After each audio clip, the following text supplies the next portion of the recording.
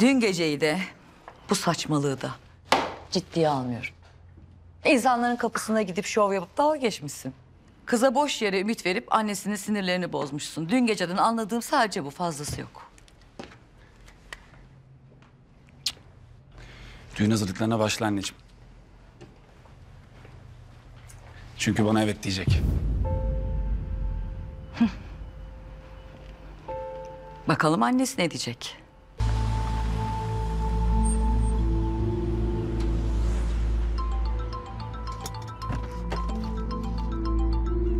Baban ne kadarını biliyor İrem? Benim ne yapmam lazım? Bana bir şey söyle.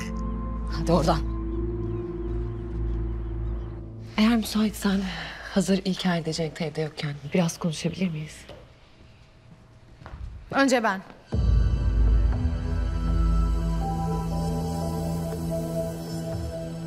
Beni neden harcadın Hale?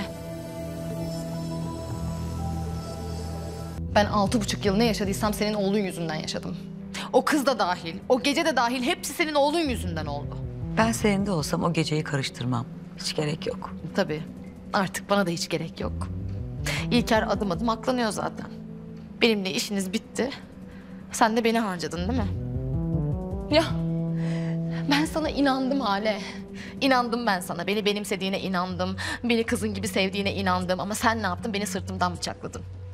Sakın bana Banu masalını anlatma. Sen harcadın beni biliyorum. Tatlım ben seni harcamadım. Ben seni kurtardım. Belki şu anda farkında değilsin ama ben sizin aşkınızı bile kurtardım. Beni rezil edip evliliğimi bitirerek. Evet, aynen öyle.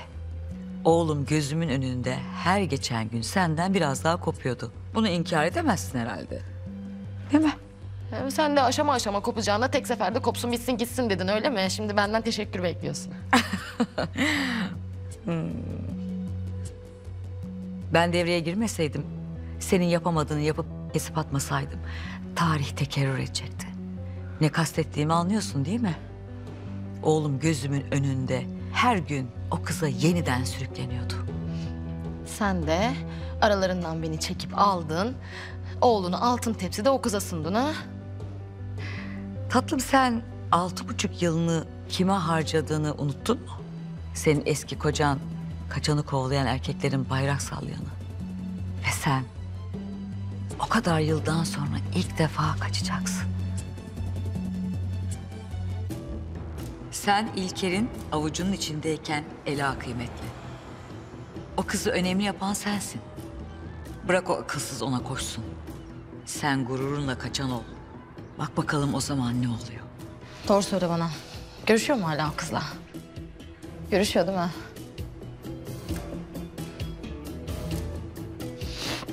Yine kavuştular.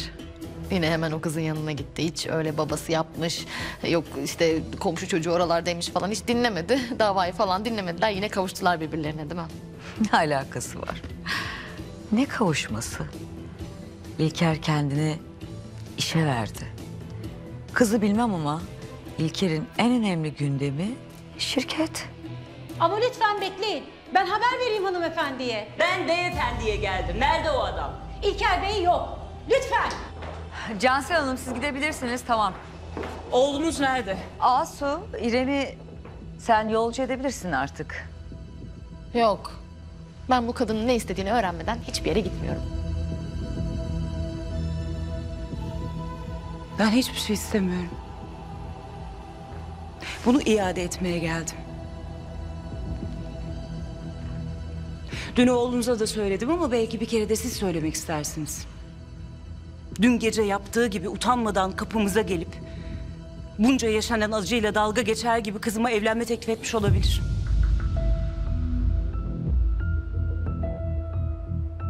Ama benim bu hasta şeye kurban edecek kızım yok. Oğlunuzu kızımdan uzak tutun. Yoksa kötü olur. Bugün ağlıyorsun. Ama içini ferah tut. Sen kendini kurtardın.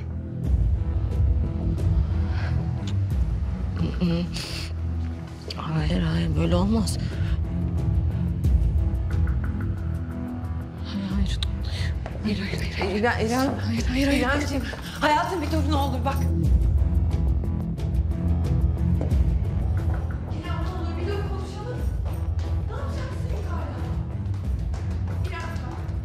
İki dakika konuşalım. Ne olursun sakin ol. Hayatım. İrem iki dakika konuşabilir miyiz lütfen ya? İrem. Hayatım şu kapıyı açar mısın? Hadi. İrem. Bahar Hanım. Dün akşamki saçmalıktan haberdar olduğumu düşünmüyorsunuz herhalde değil mi? Oğlumun kızınızla evlenmesini onaylayabileceğimi düşünecek kadar şuur kaybınızın olmadığını düşünüyorum. Çünkü bu konuda içiniz sonsuza kadar rahat olsun. Ne bu dünyada ya da bundan sonraki hayatlarımızda hatta paralel evrende bile kızınıza onay vermem mümkün değil. Şaşırdım. Oğlunuzun çıkarını olan her şeyi onayladığınızı sanıyordum. Çıkarında bir sınırı var. İçiniz rahat olsun. Kızınız ilk günde kriterlerime uygun değildi. Bugün de değil. Öyle mi? O zaman alın o çok değerli, çok yüksek kriterlerinizi oğlunuza ezberletin. Bir daha da kapıma gelmesin. Kızımın karşısına da çıkmasın.